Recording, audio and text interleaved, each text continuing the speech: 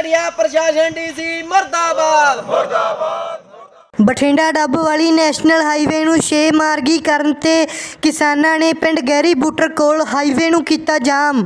ਦੱਸਦੀ ਕਿ ਬਠਿੰਡਾ ਡੱਬ ਵਾਲੀ ਨੈਸ਼ਨਲ ਹਾਈਵੇ ਨੂੰ ਛੇ ਮਾਰਗੀ ਕੀਤਾ ਜਾ ਰਿਹਾ ਹੈ, ਜਿਸ ਦੇ ਵਿਰੋਧ ਵਜੋਂ ਅੱਜ ਕਿਸਾਨਾਂ ਨੇ ਭਾਰਤੀ ਕਿਸਾਨ ਯੂਨੀਅਨ ਏਕਤਾ ਉਗਰਾਹਾ ਦੀ ਸਹਾਇਤਾ ਨਾਲ ਨੈਸ਼ਨਲ ਹਾਈਵੇ ਨੂੰ ਪਿੰਡ ਗਹਿਰੀ ਬੂਟਰ ਕੋਲ ਜਾਮ ਕਰ ਦਿੱਤਾ ਹੈ। ਇਸ ਮੌਕੇ ਭਾਰਤੀ ਕਿਸਾਨ ਯੂਨੀਅਨ ਏਕਤਾ ਉਗਰਾਹਾ ਦੇ ਬਲਾਕ ਪ੍ਰਧਾਨ ਕੁਲਵੰਤ ਰਾਏ ਸ਼ਰਮਾ ਅਤੇ ਜ਼ਿਲ੍ਹਾ ਕਮੇਟੀ ਆਗੂ ਜਗਸੀਰ ਸਿੰਘ ਝੁੰਬਾ ਨੇ ਕਿਹਾ ਹੈ ਕਿ ਕਿਸਾਨਾਂ ਦੀ ਜੋ ਜ਼ਮੀਨ ਇਸ ਸੜਕ ਵਿੱਚ ਆਈ ਹੈ, ਪ੍ਰਸ਼ਾਸਨ ਵੱਲੋਂ ਉਹਨਾਂ ਨੂੰ ਬਹੁਤ ਹੀ ਘੱਟ ਮੁਆਵਜ਼ਾ ਦਿੱਤਾ ਜਾ ਰਿਹਾ ਹੈ। ਜਿਸ ਦੇ ਵਿਰੋਧ ਵਜੋਂ ਉਹਨਾਂ ਵੱਲੋਂ ਇਸ ਹਾਈਵੇ ਨੂੰ ਜਾਮ ਅੱਜ ਕੀਤਾ ਗਿਆ ਹੈ।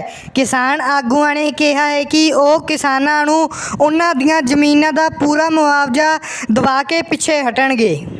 ਇਹ ਦਰਖਤ ਪੱਟਣ ਆਏ ਸੀਗੇ, ਇਹ ਪ੍ਰਸ਼ਾਸਨ ਕਬਜ਼ਾ ਲੈਣ ਆਏ ਸੀ ਰੋਡ ਦਾ। ਅਸੀਂ ਇਹਨਾਂ ਨੂੰ ਆ ਕੇ ਵੱਡੇ ਪੱਧਰ ਤੇ ਸਾਡੇ ਜ਼ਿਲ੍ਹੇ ਦਾ ਇਕੱਠ ਕਰਕੇ ਰੋਕਿਆ ਸੀਗਾ। ਪਰ ਪ੍ਰਸ਼ਾਸਨ ਉਸ ਗੱਲ, ਉਸ ਦਿਨ ਗੱਲ ਕਰਕੇ ਕਹਿੰਦਾ ਵੀ ਅਸੀਂ ਨਹੀਂ- ਮਸ਼ੀਨਾਂ ਨਹੀਂ ਚਲਾਵਾਂਗੇ। ਉਸ ਗੱਲ ਤੋਂ ਇਹ ਮੁੱਕ ਰਿਹਾ। ਉਸ ਦਿਨ ਸ਼ਾਮ ਨੂੰ ਇਹਨਾਂ ਨੇ ਮਸ਼ੀਨਾਂ ਚਲਾਤੀਆਂ ਸੀ।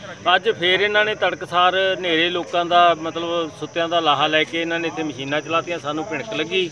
ਤਾਂ ਅਸੀਂ ਇਸ ਸੜਕ ਦੇ ਉੱਤੇ ਆ ਕੇ ਬੈਠ ਗਏ। ਜਦੋਂ ਸਾਨੂੰ ਅੱਗੇ ਨਹੀਂ ਜਾਣ ਦਿੱਤਾ, ਅਸੀਂ ਇੱਥੇ ਜਾਮ ਲਾਤਾ। ਸੋ ਜਿੰਨਾ ਚਿਰ ਕਿਸਾਨਾਂ ਨੂੰ ਪੂਰਾ ਮੁਆਵਜ਼ਾ ਨਹੀਂ ਮਿਲੇਗਾ ਜਿੰਨਾ ਚਿਰ ਇਹਨਾਂ ਦੀਆਂ ਜ਼ਮੀਨਾਂ ਦਾ ਸਹੀ ਮੁੱਲ ਨਹੀਂ ਮਿਲੇਗਾ, ਅਸੀਂ ਇੱਥੋਂ ਪਿੱਛੇ ਨਹੀਂ ਸੜਕ ਨਿਕਲ ਰਹੀ ਆ ਤੇ ਨਾਲ ਡੱਬ ਵਾਲੀ ਵਾਲਾ ਸੜਕ ਨਿਕਲ ਰਹੀ ਆ। ਉਹਨੂੰ ਲੈ ਕੇ ਕਿਸਾਨਾਂ ਨਾਲ ਰੋਸ ਆ, ਕਿਉਂਕਿ ਮੁਆਵਜ਼ਾ ਸਰਕਾਰ ਕੋਲੋਂ ਬਹੁਤ ਘੱਟ ਆ 24 ਲੱਖ ਰੁਪਈਆ। ਕਿਤੇ ਤਾਂ ਇਹ 3-3 ਕਰੋੜ ਦੇ ਰਿਹਾ, ਕਿਤੇ 80-80 ਲੱਖ ਰੁਪਈਆ ਦੇ ਰਹੇ ਆ। ਤਾਂ ਆਮ ਪਿੰਡਾਂ 'ਚ 30 ਲੱਖ ਰੁਪਈਆ 35-35 ਲੱਖ ਰੁਪਈਆ ਹੋ ਗਿਆ। ਇਹ ਰੋਡ ਤੇ ਜ਼ਮੀਨ ਆ, ਜਿਹਦਾ ਘੱਟੋ ਘੱਟ ਰੇਟ 70-80 ਲੱਖ ਰੁਪਈਆ ਬਣਦਾਗਾ ਤਾਂ ਕਰਕੇ ਜਿੰਨਾ ਚਿਰ ਕਿਸਾਨਾਂ ਦੀ ਸੰਤੁਸ਼ਟੀ ਨਹੀਂ ਹੁੰਦੀ, ਉਹਨਾਂ ਚਿਰ ਇਹ ਧਰਨਾ ਜਾਰੀ ਰਹੂਗਾ। ਤੇ ਅੱਜ ਡੱਬ ਵਾਲੀ ਵਾਲਾ ਰੋਡ ਆ ਜਿਹੜਾ ਪੂਰੀ ਤਰ੍ਹਾਂ ਜਾਮ ਕੀਤਾ। ਕਿਉਂਕਿ ਪ੍ਰਸ਼ਾਸਨ ਨੇ ਵਾਅਦਾ ਦਵਾਇਆ ਸੀ ਪਰਸੋਂ, ਅਸੀਂ ਇਹ ਜਿਹੜਾ ਕਿਸਾਨਾਂ ਦੀ ਬਿਨਾਂ ਸਹਿਮਤੀ ਤੋਂ ਕੰਮ ਨਹੀਂ ਚਲਾਵਾਂਗੇ।